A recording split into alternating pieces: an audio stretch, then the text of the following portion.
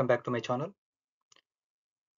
In the current tutorial, I am going to show you how we can dock multiple ligands very easily by using PyRx. So in this video tutorial, I am going to show you how we can integrate PyRx with Vina. So in general, while we are using Vina, we will face a lot of uh, troubles while developing our configuration file. Whenever there is even a small mistake in this given configuration file format, the Autodock Vina won't run and it will be keep on showing us the errors. That is the advantage of using PyRx over Vina. Here I would like to highlight few advantages of PyRx over Vina and the very first and important thing is it is having a very great user-friendly interface that is a GUI. The GUI of uh, PyRx is very clear so that we can easily use it and no need of uh, switching between Word, uh, Notepad, configuration file, nothing doing. At a single stretch, at a single place that is in a single uh, software that is a PyRx, we can start and end everything. The second one is work integration. That's what I said, workflow integration, where we can uh, do everything in a single GUI.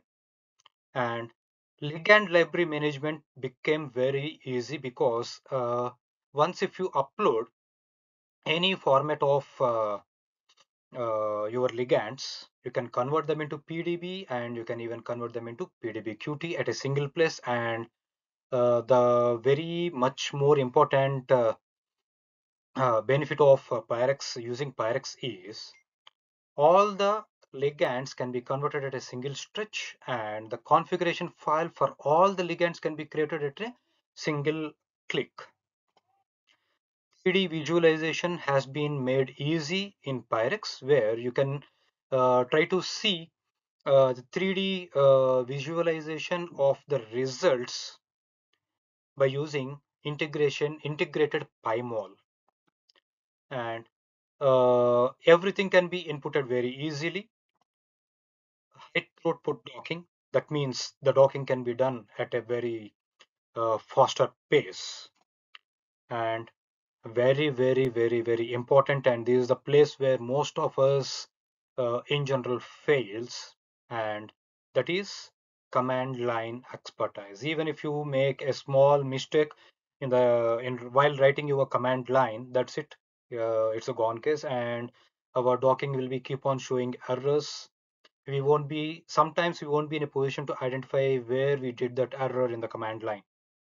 And all these are the advantages of using uh, PyRx over Autodock Vina. And now I'm going to show you what we are going to see exactly during this particular part one of uh, this PyRx Vina tutorial.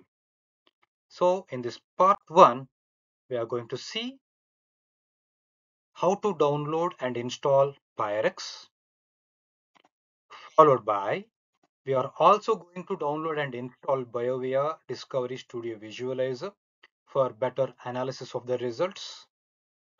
And we are going to see how we are going to select the proteins and ligands and how we are going to download them. So these are the three parts we are going to cover in this part one of uh, PyRx Vina tutorial. That is preparing, installing and preparing our system. Now let us start uh, downloading and installing PyRx first. So uh, for downloading our PyRx, in the Google, I have simply tapped PYRX and I have given a search so I can see this first page, which we are going to download now. So upon clicking on this particular link, we will get navigated to the PyRx uh, page where you can see three sorts of uh, PyRx can be downloaded. One is a pro version and academic versions, which are uh, payable. Whereas if uh, we are okay with downloading uh, the version which is uh, 0.8 and earlier it's a free and of course we are going to choose that and I'm going to click on this choose which will again navigate me to the next page where I can download this so I'm clicking on this download. So my download is going to start.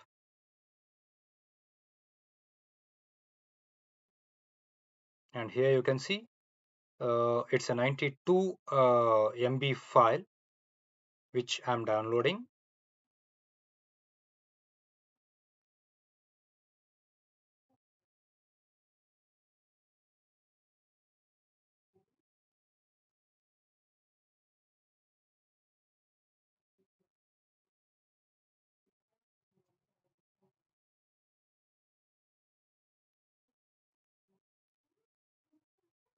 so my download is about to complete.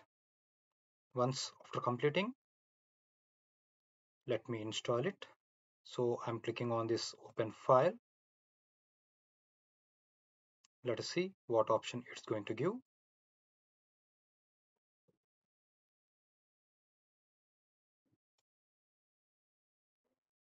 So it is asking for installing which I have given S and so we can see the installer setup over here. So I'm going next. And this destination folder I'm not going to change anything. Let it be the default one next. And it's installing. PyRx uh, installs in a very pretty uh, short time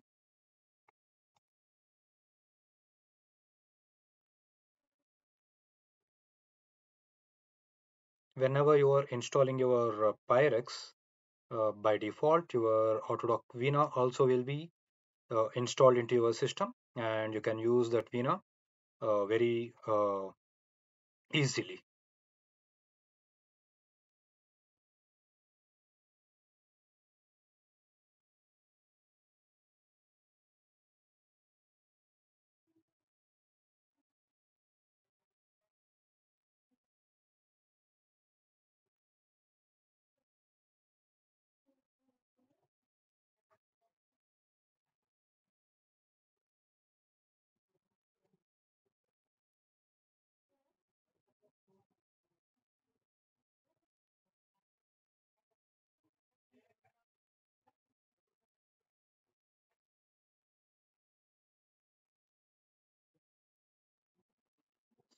uh, my PyRx is installed and I'm ready to use this PyRx. So I'm clicking on the finish button where I can see the launch of uh, PyRx.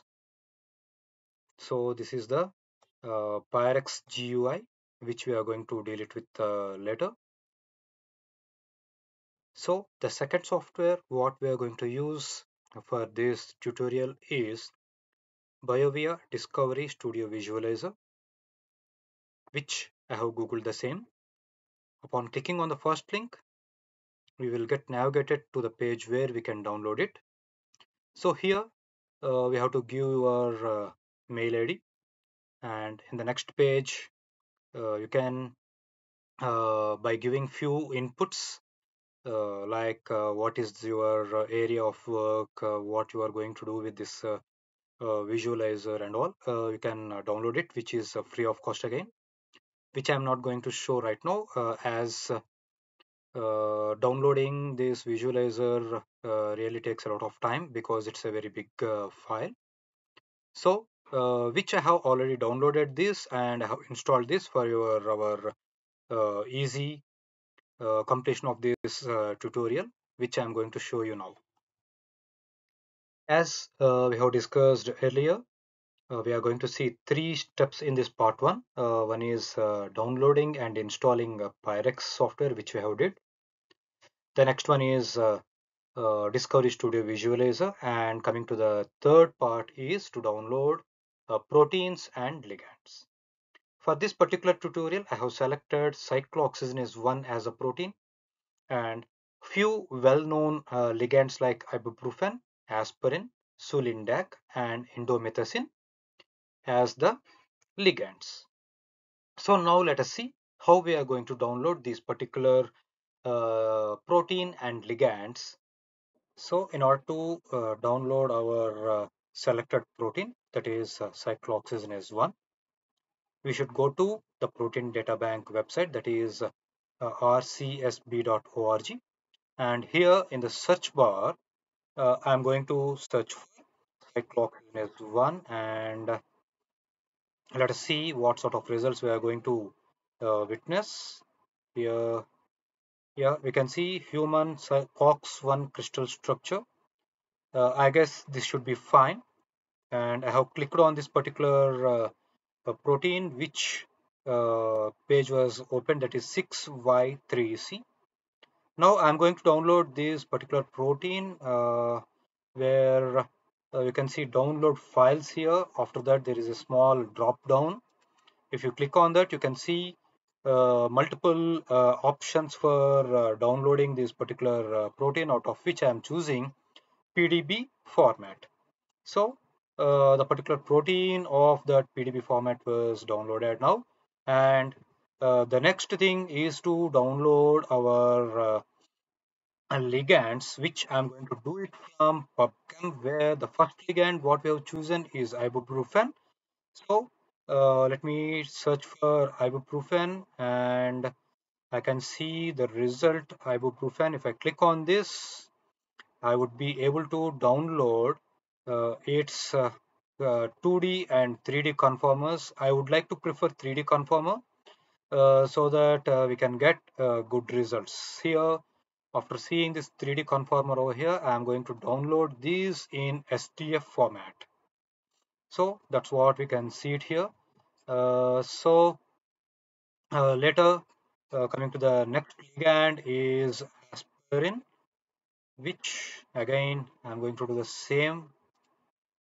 Scrolling down uh, to find out the 3D conformer and then downloading it in SDF format. It was also downloaded and the next one is Sulindac. So clicking on this Sulindac and trying to download the uh, 3D conformer of uh, Sulindac. And the last selected one is indomethacin. So indomethacin